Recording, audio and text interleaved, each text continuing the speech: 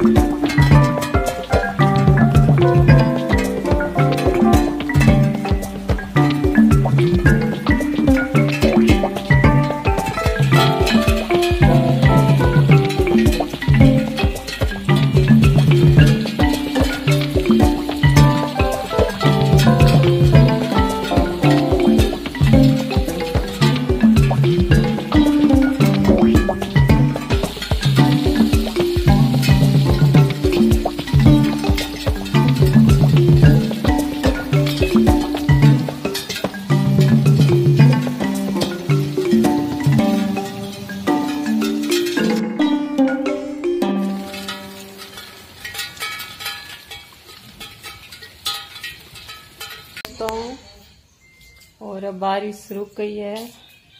बारिश रुकने के बाद मौसम बहुत ही अच्छा हो गया है। वंदना को मैंने किरण के साथ स्कूल भेज दिया था।